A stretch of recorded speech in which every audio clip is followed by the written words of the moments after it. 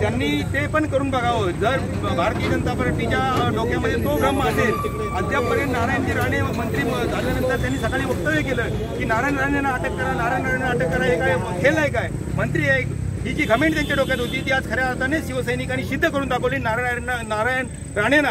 पण आता शासनाने ताब्यात घेतलेलं आहे त्यांना मूळ ठिकाणी महाड या ठिकाणी आता- आताच